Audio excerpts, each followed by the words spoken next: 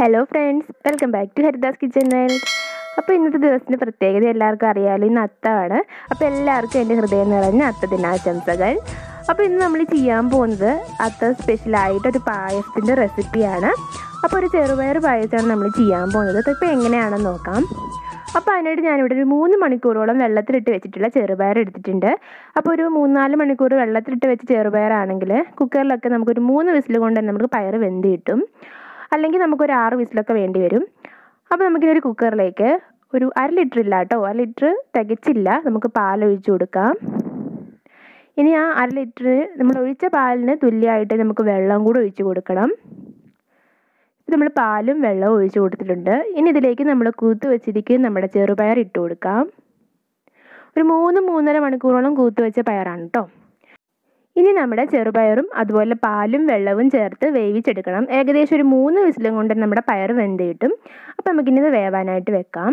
ആ ഒരു ടൈമിൽ ഞാൻ നമുക്കൊന്ന് വറുത്ത് ചേർക്കാനായിട്ട് തേങ്ങയും അതുപോലെ മുന്തിരിങ്ങയും കപ്പലിന്റെ എടുത്തിട്ടുണ്ട്. അതിന് പകരം കാശുനട്ട് വേണമെങ്കിൽ എടുക്കാം കേട്ടോ ഇനി നമുക്ക് ഒരു പാനിലേക്ക് ആവശ്യത്തിന് നെയ്യ് ഒഴിച്ചു കൊടുക്കാം. നെയ്യിലാണ് നമ്മുടെ അതുപോലെ തന്നെ മുന്തിരിങ്ങയും തേങ്ങയും വറുത്തെടുക്കുന്നത്.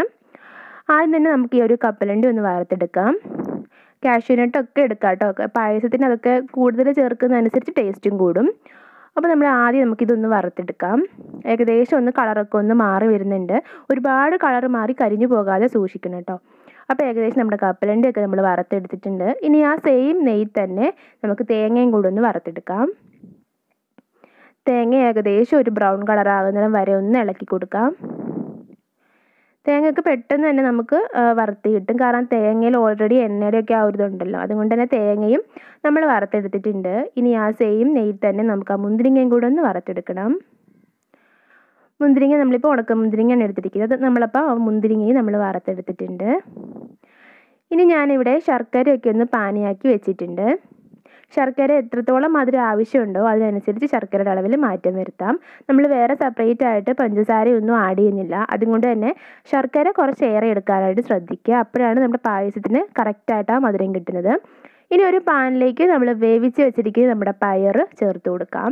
നല്ലതുപോലെ വെന്ത് വന്നിട്ടുണ്ട്. ആ ഒരു പാലിൽ വേവിച്ചെടുത്തത് കൊണ്ട് നല്ല ടേസ്റ്റാണ് നമ്മൾ സെപ്പറേറ്റ് വെള്ളത്തിൽ വേവിച്ചെടുക്കുന്നതിന് പകരമായിട്ട് ഇതുപോലെ പാലിൽ വേവിച്ചെടുക്കാനായിട്ട് ശ്രദ്ധിക്കാം ഇനി ഇതിലേക്ക് നമ്മൾ ആ ഉരുക്കി വെച്ചിരിക്കുന്ന നമ്മുടെ ശർക്കര ചേർത്ത് കൊടുക്കാം.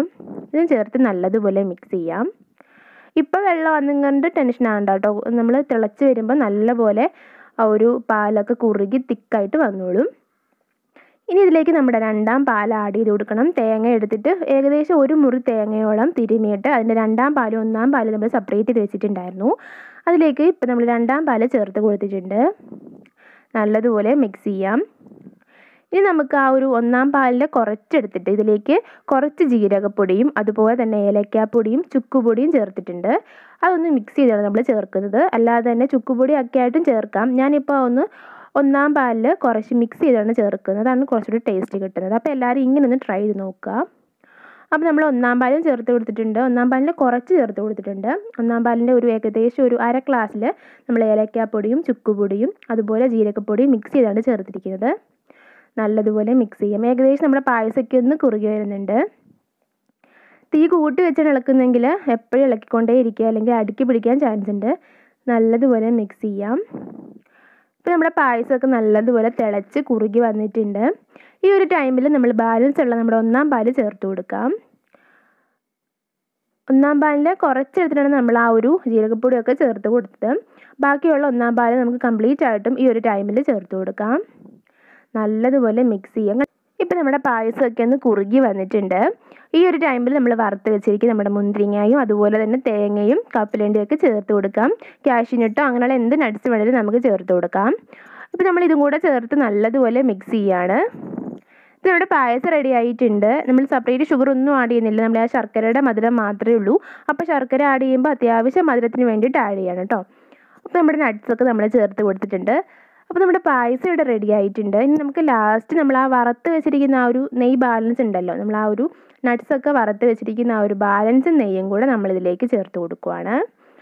അപ്പോൾ നമ്മുടെ അത്തം സ്പെഷ്യൽ ചെറുപയർ പായസം റെഡി ആയിട്ടുണ്ട്. എല്ലാവരും ഒന്ന് ട്രൈ ചെയ്ത് നോക്കുക അപ്പോൾ വീഡിയോ ഇഷ്ടപ്പെട്ടെങ്കിൽ ഒന്ന് ലൈക്ക് ചെയ്യുക സബ്സ്ക്രൈബ് ചെയ്യുക. അപ്പോൾ നെക്സ്റ്റ് വീഡിയോയിൽ നെക്സ്റ്റ് റെസിപ്പി ആയിട്ട് വീണ്ടും കാണാം. താങ്ക്